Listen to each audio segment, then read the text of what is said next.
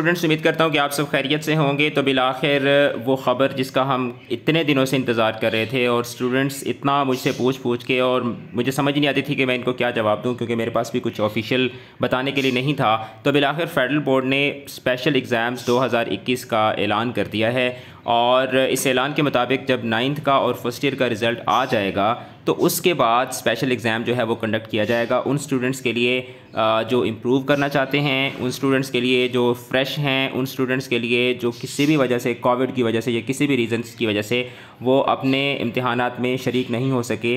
तो तमाम कैटेगरीज़ के लिए ये जो स्पेशल एग्ज़ाम है ये कंडक्ट किया जाएगा।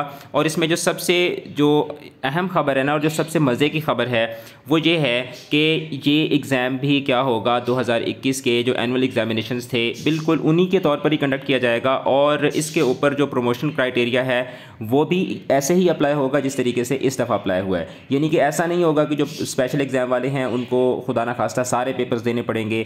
उन्हें भी वही इलेक्टिव ही पेपर देने होंगे और रिड्यूस्ड सिलेबस में से ही आपने पेपर्स देने हैं और सेम वही फार्मूला आपके ऊपर अप्लाई होगा जो कि रेगुलर एग्ज़ाम्स के ऊपर हुआ है। तो ये मैं समझता हूँ कि एक बहुत बड़ा है, ठीक है? ये एक बहुत बड़ी खुशखबरी है स्टूडेंट्स के लिए भी और उन बच्चों के लिए भी जो किसी भी वजह से इम्तहान में अपियर नहीं हो सके कोविड की वजह से या किसी भी और रीज़न की वजह से अपियर नहीं हो सके तो तमाम कैटेगरीज़ के जो स्टूडेंट्स हैं फ्रेश हैं इम्प्रूवमेंट वाले हैं, तमाम के तमाम इस एग्ज़ाम में शामिल हो सकते हैं। आप इसमें इम्प्रूव भी कर सकते हैं। आपका अगर कोई सप्ली आई है तो आप उस सप्ली का इम्तहान भी दे सकते हैं और अगर आप किसी वजह से इम्तहान में शरीक नहीं हो सके तो भी आप इसके अंदर शरीक हो सकेंगे। अब इसका जो पूरा पूरी जो, पूरा जो इसका स्केजल है वो जब नाइन्थ का और फ़र्स्ट ईयर का इम्तहान आ जाए रिज़ल्ट आ जाएगा तो उसके बाद ये अनाउंस किया जाएगा और उसके बाद इसके पेपर्स होंगे। अब पेपर्स कब होंगे इसके आ, इसका ऐलान जो है वो बाद में किया जाएगा और जैसे ही इसका ऐलान होगा वो भी इन आपके साथ शेयर कर दिया जाएगा।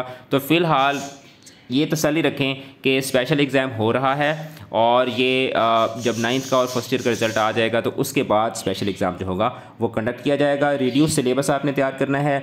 जो बच्चे सोच रहे थे कि हम पता नहीं स्पेशल एग्ज़ाम होगा या नहीं होगा तो अगर आपने मूड बनाया हुआ था स्पेशल एग्ज़ाम में अपने नंबर्स इंप्रूव करने का तो अभी से आप उसकी तैयारी पकड़ लें और रिड्यूस सिलेबस जो था, उसके मुताबिक आप तैयारी करें इलेक्टिव्स की और प्रमोशन क्राइटेरिया भी वही है जो इस्तीफ़ा था तो आपके साथ जो स्पेशल एग्ज़ाम में जो भी बच्चे शरीक होंगे, उनके साथ किसी किस्म की कोई नासाफ़ी नहीं होगी, कोई ज़्यादती नहीं होगी। तो बहुत ज़्यादा अपना ख्याल रखें इंग्लिश की के साथ जुड़े रहें। खुदा हाफिज़।